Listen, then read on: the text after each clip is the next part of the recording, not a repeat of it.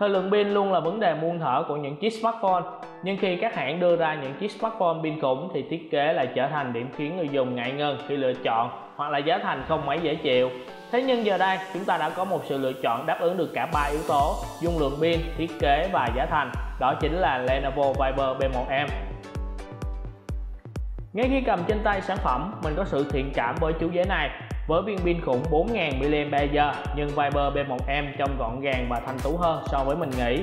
Hoàn toàn không phải là kiểu to nặng thô kệch của những smartphone pin khủng thường thấy trước đây. Máy cầm có phần hơi nặng tay nhưng không phải quá nặng đến mức không thoải mái. Hai cạnh bên được vuốt cong nhẹ làm cho cảm giác cầm máy đầm tay và chắc chắn hơn. Mặt trước máy vẫn là loa thoại, cảm biến, camera trước và dãy phím cảm ứng.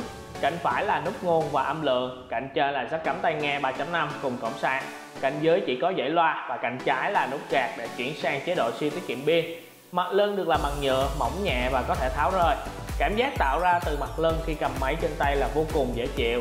Có cảm giác mềm và êm như chất liệu nhung hay da, hơi nhám nhẹ nên dễ cầm nắm mà không bám bẩn. Nổi bật lên ở mặt sau là cụm camera, đèn lát và một micro chống ồn khi quay phim được đặt tách biệt trên nền kim loại. Các góc được bo tròn nhẹ nên cảm giác máy mạnh mẽ và nam tính chứ không mềm mại. Cánh máy dù được làm bằng nhựa giải kim loại nhưng cảm giác rất giống thật, khó nhận ra đó là nhựa sơn giả. Tổng quan về mặt thiết kế, mình đánh giá máy đạt khoảng 8,5 điểm trên 10 vì có tính thẩm mỹ cao, gọn gàng và không quá nặng dù sở hữu viên pin 4000 mAh.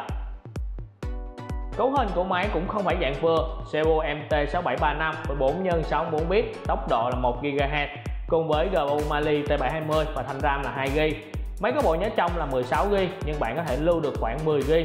Hệ điều hành Android 5.1.1 được tùy biến thành giao diện Lenovo Viber UI đẹp mắt và dễ sử dụng. Điểm AutoTu là 20.000 điểm của máy có vẻ hơi thất vọng vì với cấu hình như vậy mình nghĩ máy phải có số điểm cao hơn. Máy có màn hình 5 inch, tấm nền IPS và độ phân giải HD 720 x 1280 pixel. Khả năng hiển thị của máy tốt, màu sắc tươi sáng ở những màu nóng nhưng vẫn thể hiện được chiều sâu ở những gam màu lạnh. Góc nhìn của máy cũng rất rộng và không bị lệch màu nhiều khi thay đổi góc nhìn. Nhìn chung với cấu hình như vậy thì máy hoàn toàn có khả năng chiến các game khủng hiện nay như là Nova 3 hay là Attack 8 và dĩ nhiên với các game nhẹ nhàng hơn như là Tableland 2 hoặc là Subway Surfer là chuyện nhỏ. Thêm vào dung lượng pin khủng nữa thì máy chiến game Vivo cả ngày cũng không lo cạn kiệt. Tuy nhiên máy bị cài sẵn khá nhiều phần mềm, làm dung lượng bộ nhớ còn trống giảm đi. Nếu bạn sử dụng chúng thì tốt, nhưng nếu không dùng là chẳng thể gỡ bỏ và khiến máy có nhiều phần mềm rác.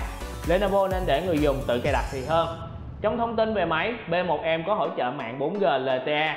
Vậy nên nếu bạn muốn là những người dùng công nghệ mới này vào đầu năm sau thì Lenovo B1M rất đáng để cân nhắc. Sau cùng là camera của máy. Máy được trang bị camera trước 5 megapixel và camera sau 8 megapixel tự động lấy nét. Camera trước chụp ảnh khá tốt nhưng góc chụp hơi hẹp nên sẽ hạn chế số lượng bạn bè chụp cùng hoặc phải thêm phụ kiện là gậy chụp hình.